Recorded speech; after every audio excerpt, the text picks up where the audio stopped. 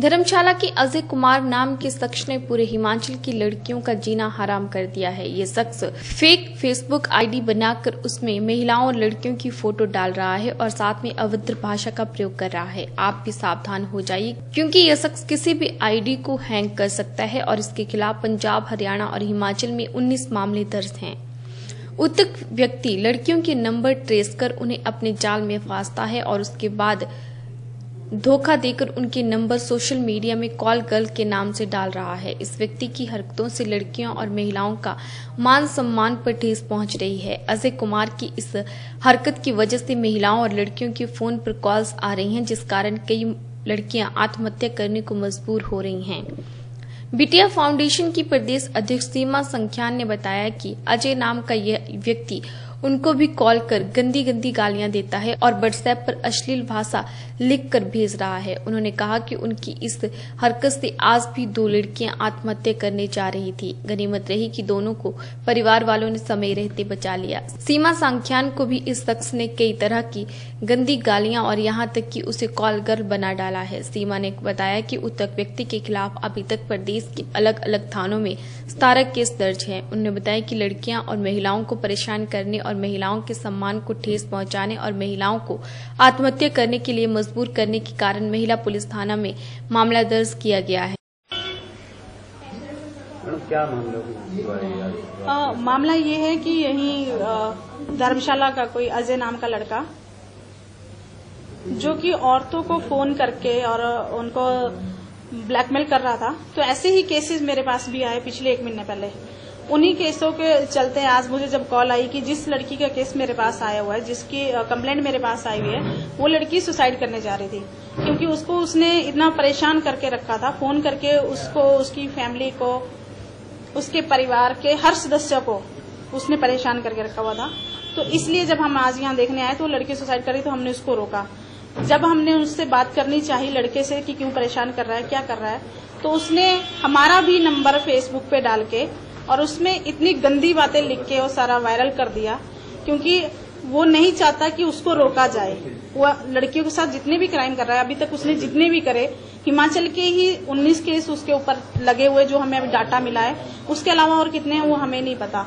लेकिन वो लड़कियों को ब्लैकमेल करता है, उनको यूज़ करता है और कुछ दिन अंदर रहता है और बाहर आ जाता है। तो हम ये कहना चाहते हैं जो ये संस्थाएँ जो बेटियों के उत्थान के लिए, महिलाओं के उत्थान के लिए काम कर रही है, क्या वो गलत कर रही है? क्या हम महिलाओं की रक्षा करना छोड़ दें? क्या महिलाओं अपनी बेटियों को ऐसे ही मरने के लिए, जो मर रही है, वैसे ही मरने के लिए छोड़ दें? अगर आज हम समाज सेवी, हम ही सेफ़ नहीं है तो हमारी और महिलाओं का क्या होगा? हमारी हिमाचल देवभूमि है, लेकिन इसमें आए दिन जो अपराध अभी महिलाओं के साथ हो रहे हैं, वो सारे ही सुनने में जितने भयानक है, लेकिन जिनके साथ बीत रहे हैं तो आप सोच सकते हो कि उनका क्या हाल हो रहा होगा। जो लड़की पिछले दो महीनों से उसको बर्दाश्त कर रही है, और आज जो इसकी स्थिति ये होगी कि वो मरने तक आ गई तो मैं सोच सकती हूँ क्योंकि मेरा पिछले कुछ घंटों में ही उसकी वजह से मैं कितनी परेशान हो गई हूँ, मुझे कितना कुछ झेलना पड़ रहा है तो वो लड़की तो क्या कुछ झेल रही है। तो मैं सबसे यही पूछना चाह रही हूँ कि क्या हमारी बेटियाँ ऐसी चीज़ों को अगर वो कंप्लेंट करवाती है, उनकी कंप्लेंट में दो दो हफ़्ते कार्रवाई नहीं होती और कार्रवाई ना होके वो परेशान होकर उन केसों को बंद करवा देती है कैसा ही होता रहेगा? या कानून से उनको जो हौसला मिलना चाहिए ताकि हमारी बच्ची आगे बढ़ सके, नीडर होके जी सके? लेकिन आज कह रहे हैं ना कि आज हमारी बच्चियों का घर से निकलना ही दुसार हो गया। वहीं पीड़ित का कहना है कि वो उसे जबरन शादी के लिए बोल रहा था, लेकिन पीड़ित के मना करने पर उसे जान से मारने की धमकी दे डाली और उसके परिजनों को भी मारने की धमकी दे डाली। पीड़िता की फेसबुक आईडी भी हैंग कर उसे भी कॉल कर बना दिया है, जिससे परेशान होकर पीड़ित ने थाने में मामला दो सप्ताह पहले दर्ज करवाया था, लेकिन कोई कार्रवाई नहीं हुई। उसके बाद जब सीमा सांख्यान और निक्स टोच को इस बात का पता चला तो वह पीड़िता की मदद के लिए आगे आई और जब इस व्यक्ति से बात की गई तो उसने इन दोनों को भी नहीं छोड़ा, यहाँ तक कि दोनों का जीना भी मुहाल कर दिया।